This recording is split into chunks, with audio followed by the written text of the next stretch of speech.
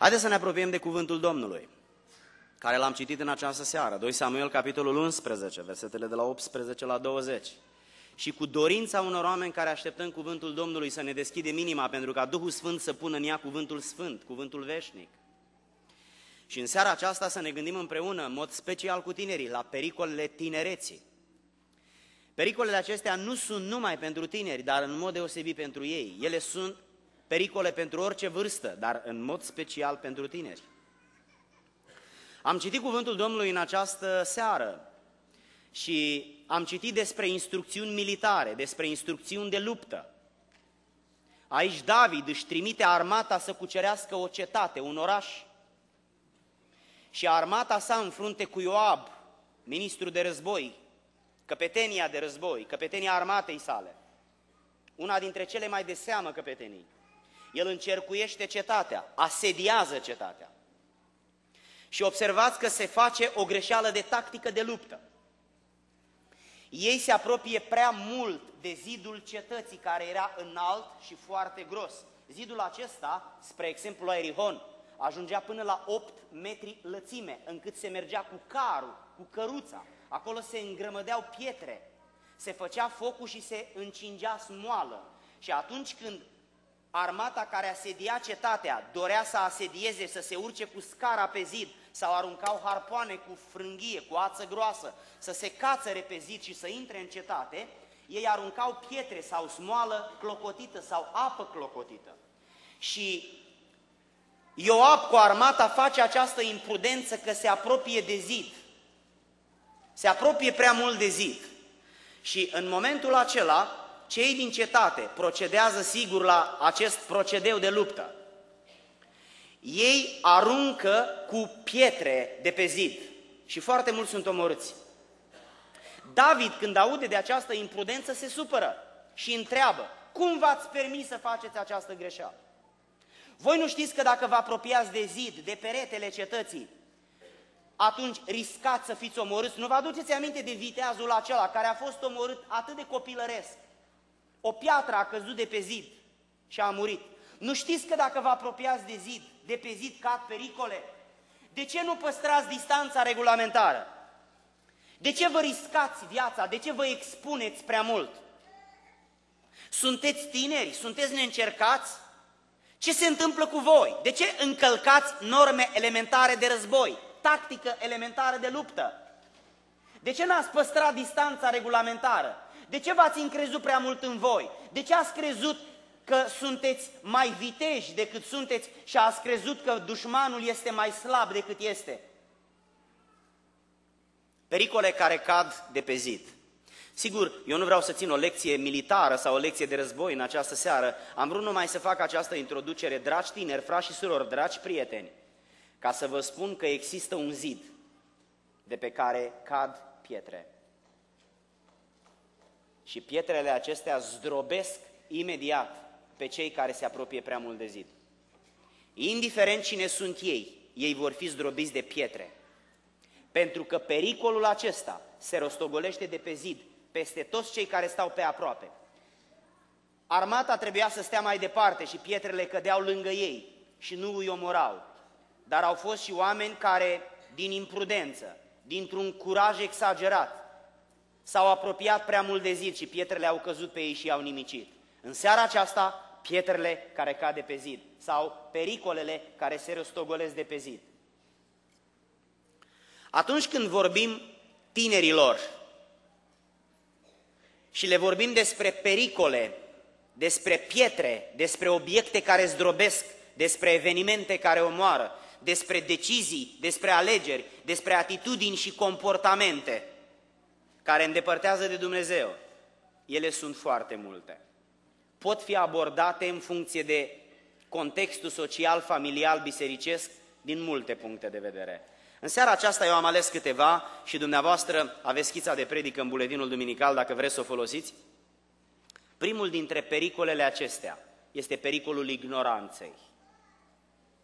Observați în versetul 20, David spune, nu știați? Ignoranță. N-ați știut.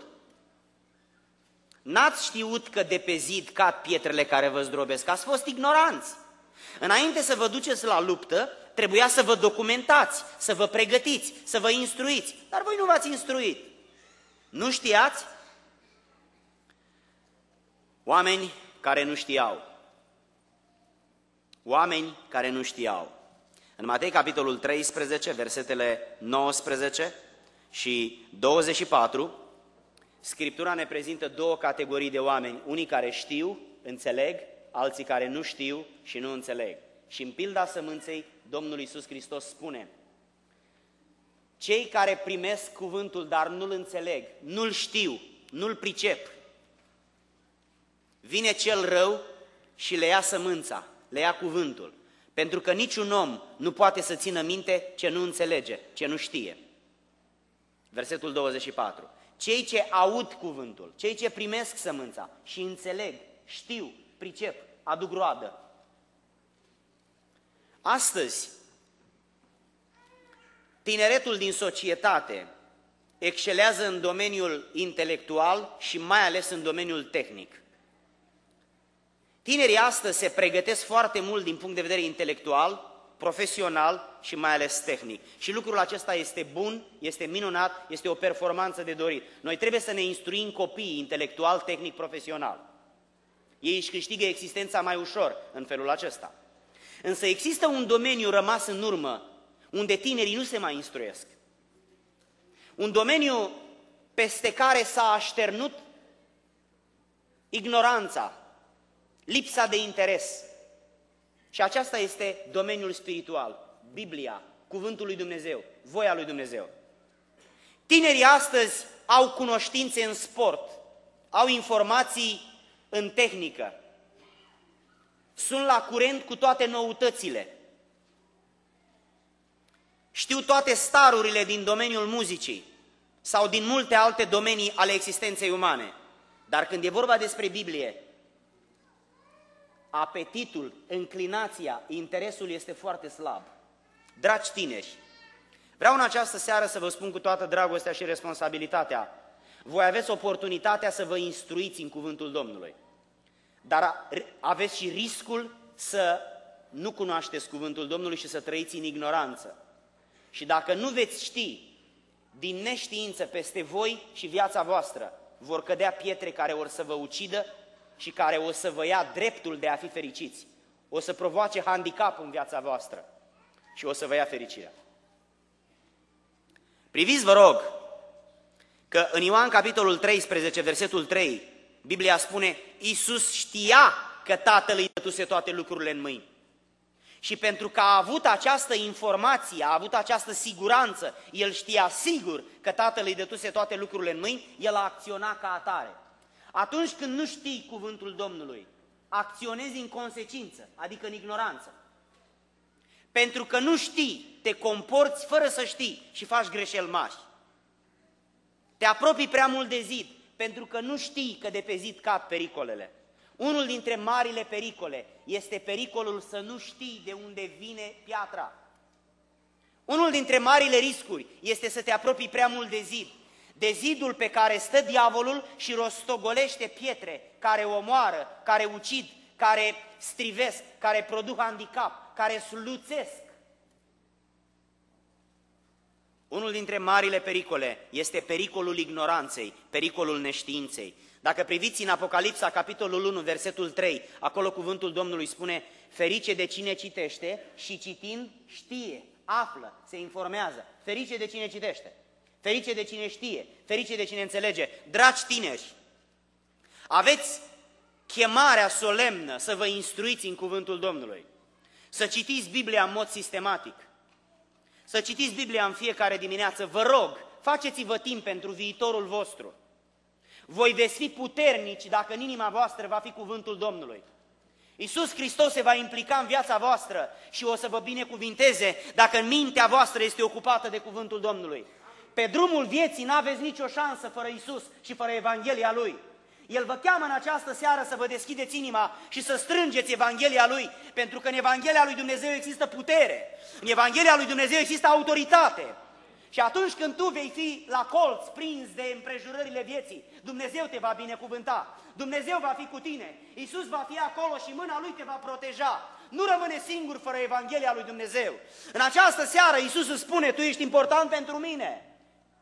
Eu nu vreau să stau în cer fără tine, însă nu vor ajunge în cer oameni care n-au în inima lor cuvântul vieții. Lasă în fiecare dimineață un timp pentru Evanghelie. Deschideți inima și pune deoparte câteva minute să citești cuvântul sfânt, pentru că în acest cuvânt este fericirea ta, este viitorul tău, este ceea ce tu cauți pentru tine și pentru viața ta.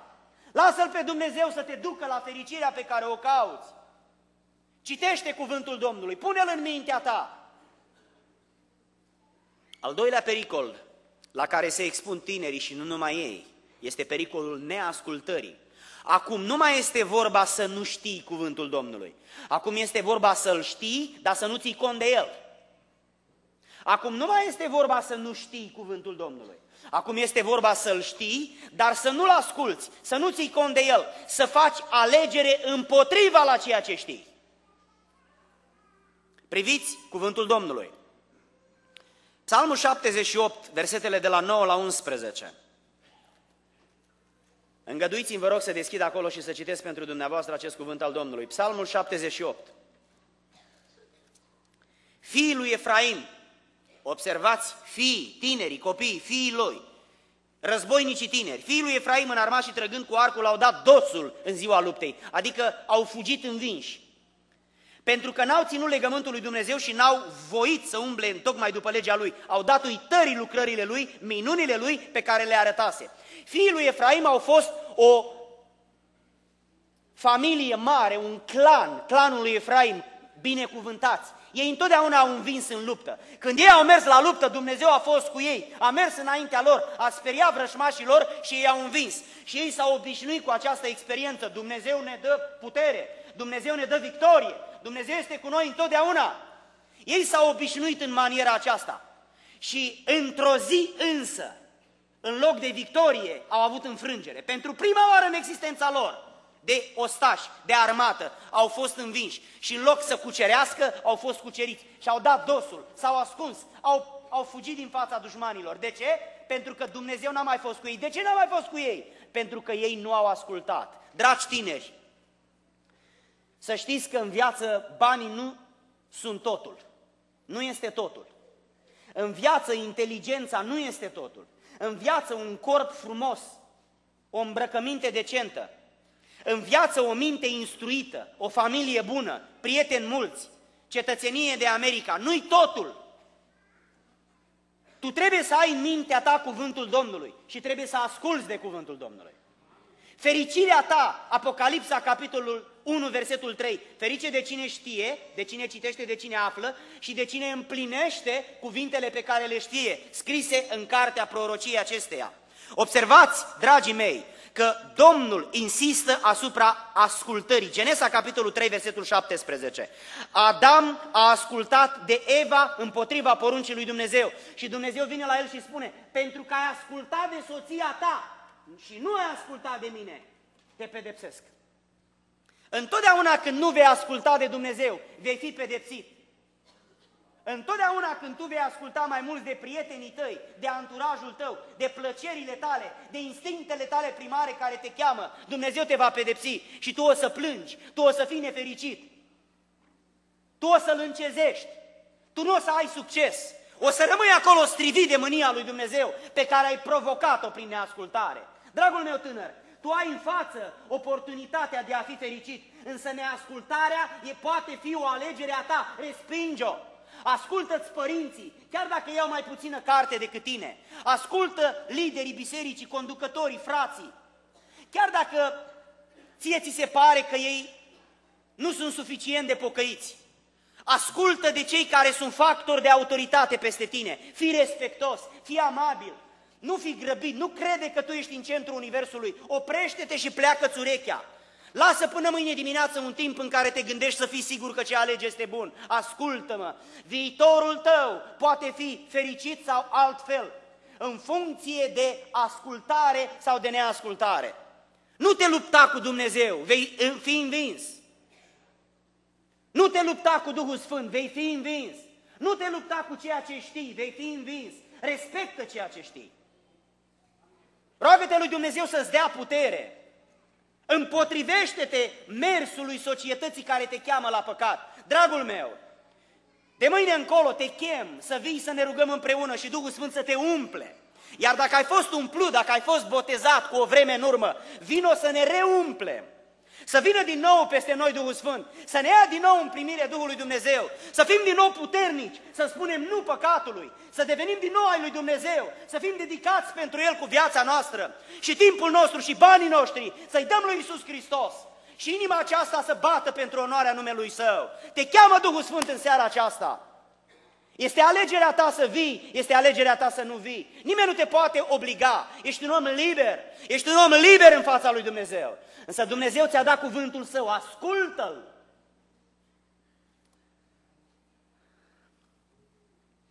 Uza, aduceți-vă aminte de el, a știut și nu a ascultat. A fost un om care a respins cuvântul Domnului și care a procedat diferit. Aduceți-vă aminte că a murit la o cotitură strivit de mânia lui Dumnezeu. Dragul meu, temete de Domnul. Împlinește cuvântul pe care îl cunoști.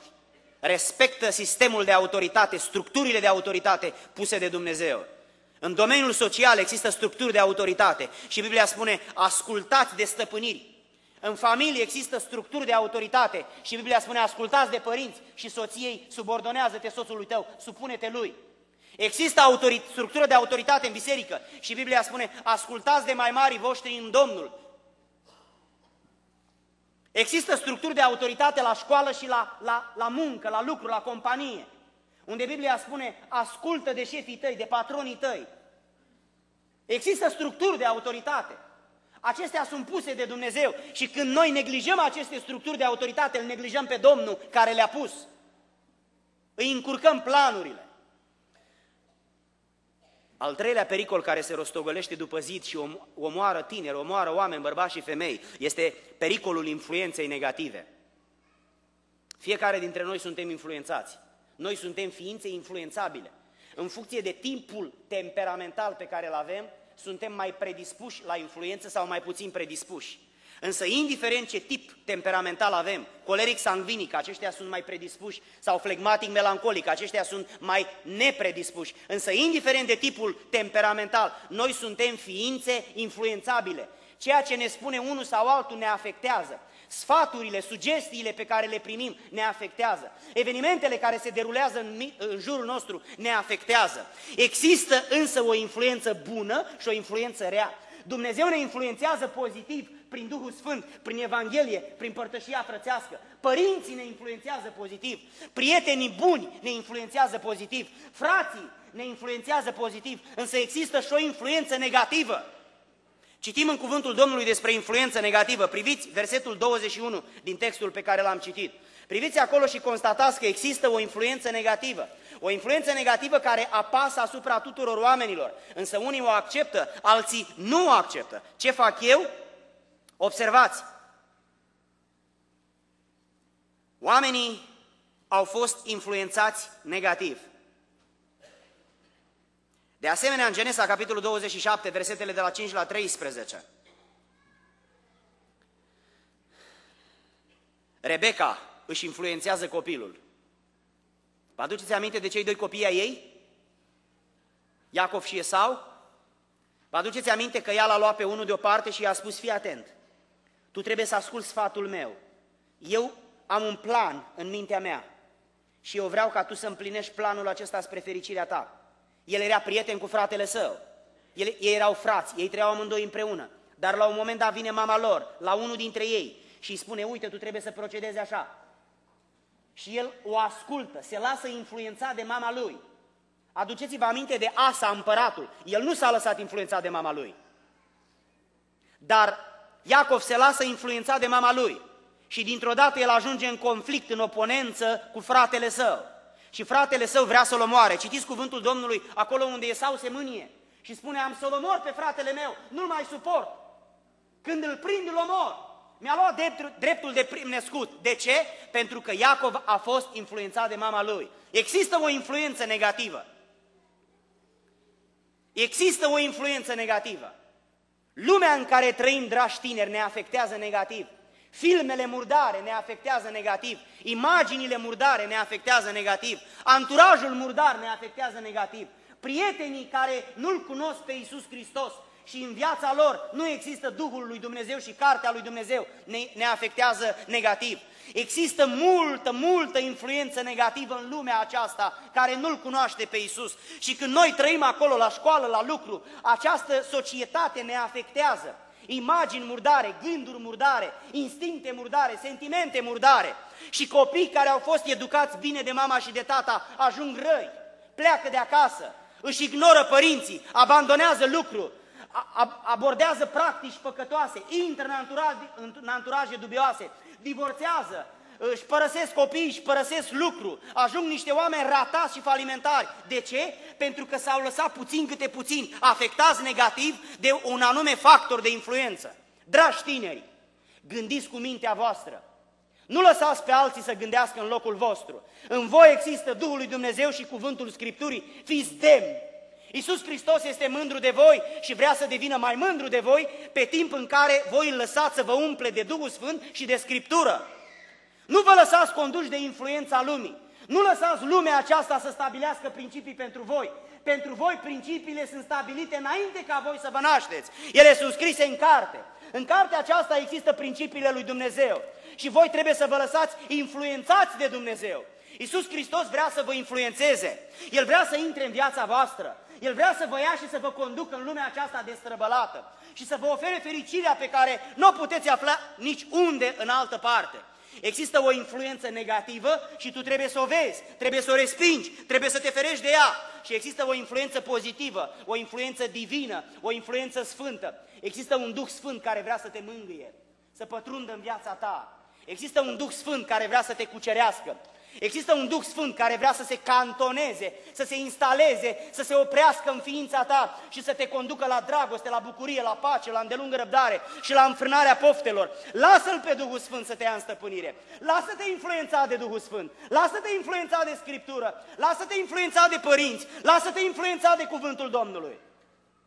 Respinge influența negativă. Respinge-o. În al patrulea rând, de pe zid, cad, cade a patra categorie de pietre, pericolul anonimității. Anonim înseamnă să fii un om de care nu știe nimeni, un anonim, o persoană de care nu știe nimeni, nu o bagă nimeni în seamă, nu sclipește prin nimic, nu are nici frumusețe, nici inteligență, nici bani. Nu știe nimeni că el există sau că ea există. Anonimatul este întotdeauna un pericol. De ce? Pentru că persoanele care sunt anonime suferă că sunt anonime. Ele n-ajung niciodată sub lumina reflectoarelor. Ei n-au niciodată ceva care să-i facă să sclipească. Fizic nu sunt atractivi cu nimic. Intelectual nu sunt grozavi. Financiari nu au. Material sunt jos. Relațiile lor sunt puține și modeste. Ei în toate domeniile sunt mici, sunt modești, sunt sărăcuți. Și dintr-o dată ei privesc la cei ce au frumusețe, inteligență, bani, relații și sunt tentați să invidieze și ei suferă în interiorul lor. Atunci când îi întâlnești, ei zâmbesc, dar undeva în interiorul lor ei suferă. Pentru că sunt singuri, pentru că sunt nebăgați în seamă, pentru că nu-i cunoaște nimeni, pentru că n-au prieteni, pentru că nimeni nu-i cheamă, alții sunt chemați, dar ei nu și ei suferă. Anonimatul acesta omoară, complexul de inferioritate se numește asta. Adică oameni care se văd inferiori și această inferioritate îi domină, îi prinde ca o gheară și spune fetelor, tu ești prea grasă și nimeni nu te place. Sau spune băieților, tu vii dintr-o familie slabă și niciodată nu o să izbândești în viață, nu o să răzbești. Pentru că n-ai în spate niște părinți care să te împingă, să te ajute. Sau poate ești singur în America și te uiți în jur, te lupți și ți se scurge totul printre degete și te vezi singur, te vezi inferior, vezi pe alții care au rude, care au prieteni și care sunt ajutați și tu ești nimeni, tu ești singur și suferi, te duci acasă și plângi. Ăsta e un pericol, dragul meu, pentru că diavolul vrea să te descurajeze. Diavolul vrea să te strivească, să spună, n-are nicio importanță dacă tu trăiești sau mori. Lui Isus nu-i pasă de tine, la pastor nu-i pasă de tine, la biserică nu-i pasă de tine. Te duci degeaba la tineret, tu nu vezi că nu te bagă nimeni în seamă, tu ești un nimeni, tu exigi degeaba și tu suferi și tu plângi și nu știe nimeni. Ăsta este o piatră, piatra asta vrea să scadă în cap. Asta vrea să, să-ți fure fericirea, vrea să te conducă la disperare. În această stare de disperare, tu vei lua decizii greșite, tu vei urâ oamenii, tu îi vei invidia pe cei ce au și tu vei ajunge să păcătuiești. Priviți-l pe Gedeon, se duce Dumnezeu la el și îi spune, Gedeon, vreau să fac o lucrare cu tine. Și Gedeon spune, Doamne, nu merg nicăieri pentru că eu sunt cel mai nepriceput. Citiți în judecători, capitolul 6, versetul 15. Însă Dumnezeu vine la el și în versetul 16 îi spune, Gedeon, eu sunt cu tine. Se duce Dumnezeu la Ieremia, capitolul 1, Ieremia capitolul 1 și în versetul 6 Ieremia îi spune, Doamne, nu mă lua că nu vin. Eu sunt bâlbâit, eu vorbesc greu, Doamne. Eu, eu n-am o vorbire cursivă. Unde mă trimiți Tu? Doamne, nu mă duc! Eu am un complex de inferioritate, eu am un handicap fizic, Doamne, și mi-e rușine să mă expun. Nu mă duc, Doamne, nu mă pricep. Trimite pe cineva cu școală, trimite pe cineva care vorbește ușor, trimite pe cineva inteligent, bogat sau frumos. Nu mă trimite pe mine, Doamne, mă faci de rușine. Și vine Dumnezeu la el, citiți cuvântul Domnului, versetele de la 7 la 9, și îi spune, Eremia, ți rușine cu mine? Eu am să merg cu tine. Eu am să fac vorbirea ta ușoară. Eu am să fiu Dumnezeul tău. Eu fac mai mult decât toată lumea, decât toate calitățile la un loc. Ieremia, du-te în numele meu! Ridică-te, Ieremia, și încurajează-te cu prezența mea! Eu sunt Isus Hristos și eu domnesc! Eu sunt Dumnezeu și conduc Universul! Eu sunt rege în cer și pe pământ! Nu te uita la cum arăți! Nu fi dominat că nu ești frumos ca nu știu cine! Nu fi dominat de frica că tu nu ai părinți aici! Nu fi dominat de frica că tu nu ai mașină sau nu e așa de frumoasă ca nu știu cui! Nu fi dominat de valori omenești. Ascultă-mă, Isus este cu tine. Isus te iubește. Tu trebuie să înțelegi, cu Dumnezeu ai victorie.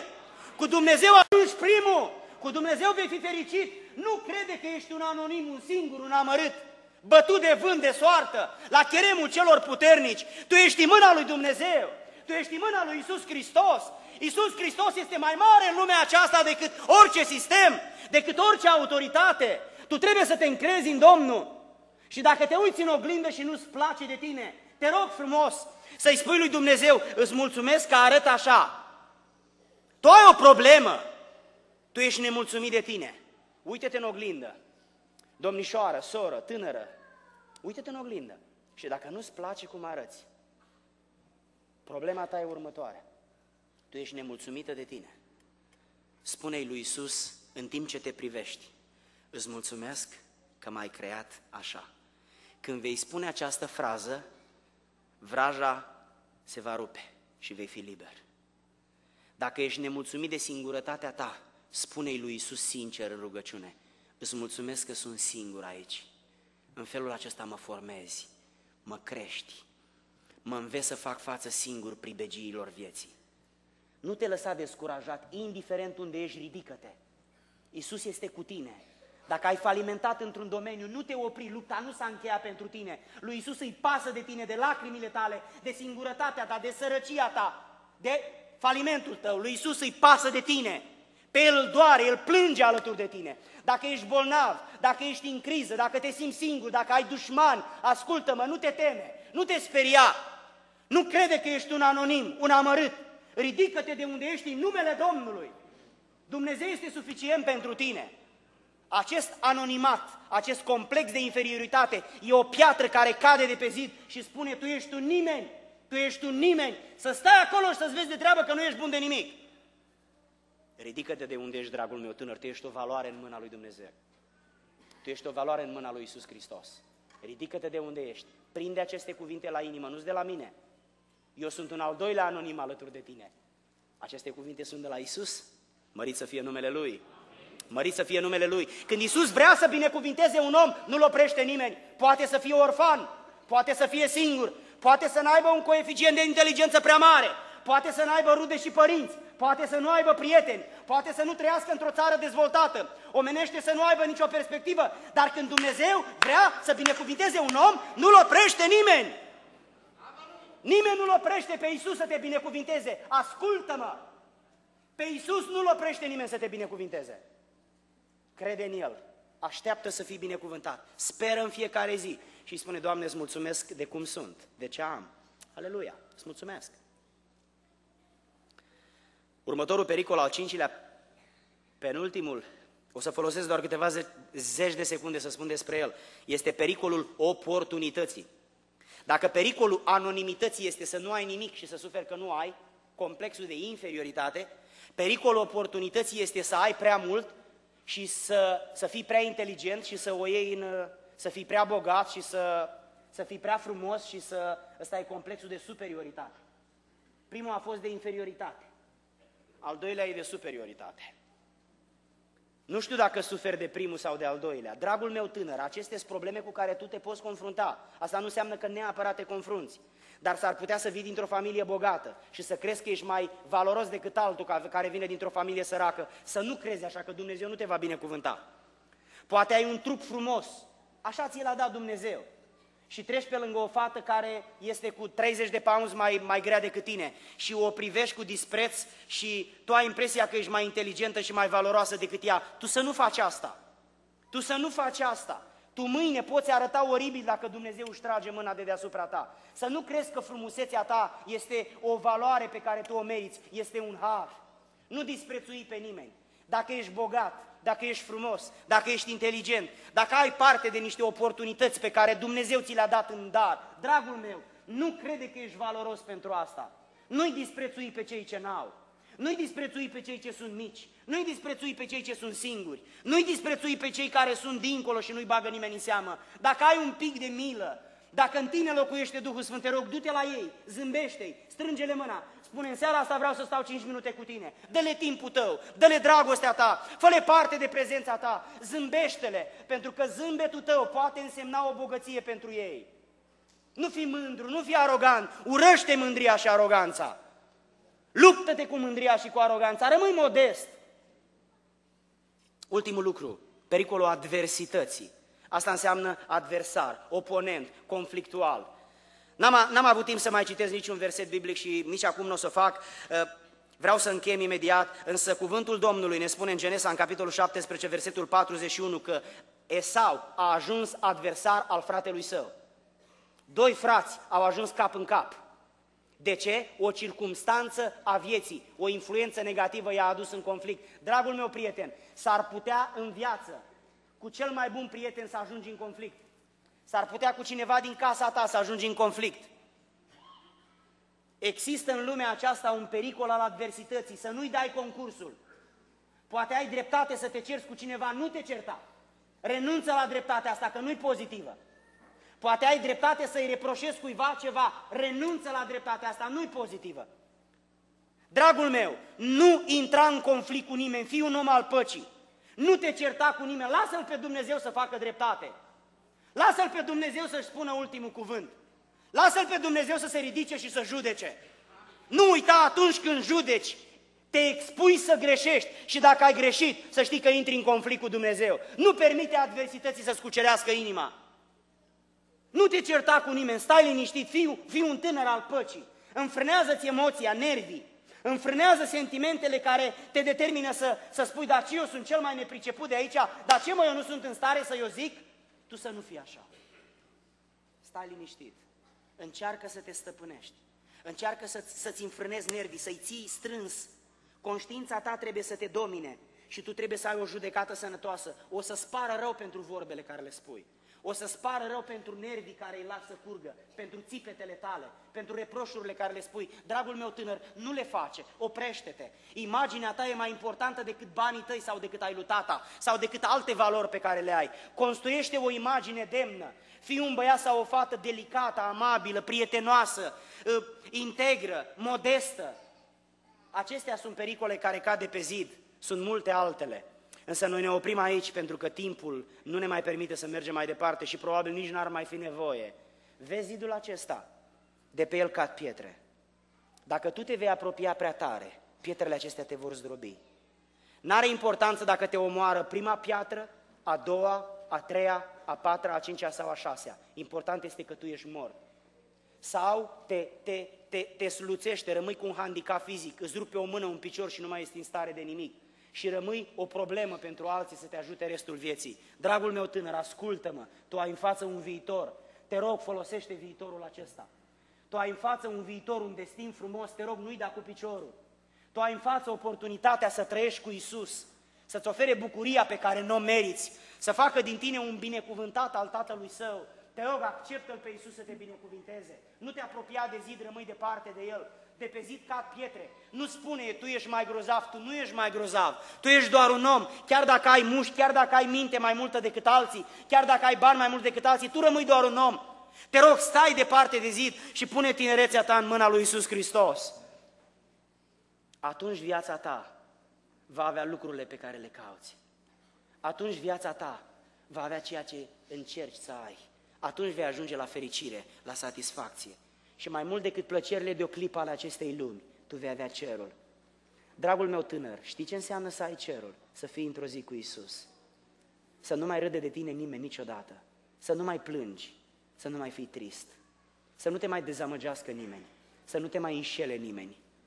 Și să te iubească cineva așa cum încerci să fii iubit de când te-ai născut și n-ai găsit pe nimeni așa. În seara aceasta Isus este aici și El îți oferă iubirea Lui, îți oferă prietenia Lui, îți oferă dragostea Lui. Vrei să-ți deschizi inima și să-i spui, Doamne, îmi este rușine de multe dintre deciziile mele, îmi este rușine de mulți dintre prietenii mei, îmi este rușine de multe dintre faptele mele, de atitudinile mele, obiceiurile mele, dar în seara aceasta Tu mi-ai vorbit. Stau înaintea Ta, Doamne, și îți mulțumesc că mi-ai vorbit. Eu nu pot să plec fără să-ți spun ceva. Eu vreau să-ți spun că te iubesc, că te respect și în mod special te respect pentru că te-ai ținut după mine până când am avut puterea să înțeleg. Ai avut răbdare cu mine până când am reușit să înțeleg, Doamne, că fără tine n-am nicio soluție. Dragul meu tânăr, tu trebuie să te rogi în această seară chiar aici. Trebuie să lași o lacrimă să ștampileze decizia ta și trebuie să lași emoțiile tale să-i spună lui Isus că-L iubesc. Tu trebuie să-ți deschizi inima pentru Dumnezeu și de mâine tu trebuie să citești Biblia în fiecare zi. Tu aici, ai aici un calendar de citit Biblia într-un an de zile. Te rog frumos să-l respecti. Pune-l lângă deodorantul tău, lângă aparatul tău de ras. Pune-l lângă undeva unde mergi mereu în fiecare dimineață și nu-ți permite să faci nimic înainte de a citi ceea ce trebuie de aici. Apoi oprește-te 5 minute și roagă-te. Și mâine seară vino să ne rugăm împreună ca să ne boteze Dumnezeu, să ne umple Dumnezeu. Asta, așa ar trebui să arate viața ta. Așa, ăsta e drumul pe care ar trebui să mergi tu. Pe drumul acesta te va binecuvânta Dumnezeu. Pe drumul acesta va așeza Dumnezeu fericire în viața ta și sănătate și har. Și într-o zi, la glasul trompetei, va veni Isus și te va lua și te va duce acasă. De pe drumul acesta te va lua Dumnezeu. Hotărăște-te în seara aceasta să fii pe drumul acesta, alături de mine, alături de noi, alături de Isus, alături de Duhul Sfânt, alături de Evanghelie. Haide să ne ridicăm, să stăm înaintea Domnului ca un singur om și să ne rugăm. Isus Hristos este aici și a făcut partea. Omul omule, lasă inima ta deschisă, deschide ușa la perete și spune lui Dumnezeu în rugăciune ceea ce simți, ia decizii, cereți iertare și pleacă de aici de mână cu Dumnezeu, pentru că pe tine te așteaptă un viitor cu Isus. Nu renunța la viitorul acesta, e tot ce ai. E tot ce poți avea. Haide să ne rugăm Domnului împreună, în prezența minunatului Duh Sfânt al lui Dumnezeu.